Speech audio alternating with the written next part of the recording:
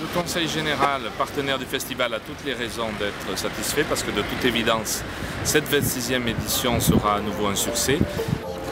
L'occasion est offerte de rappeler qu'il y a aussi une vie culturelle intense entre deux festivals. Et puis voilà qu'aujourd'hui on est dans, la création, euh, dans l'émotion. Je crois que la preuve est faite que le Cantal euh, est un département où la culture a toute sa place.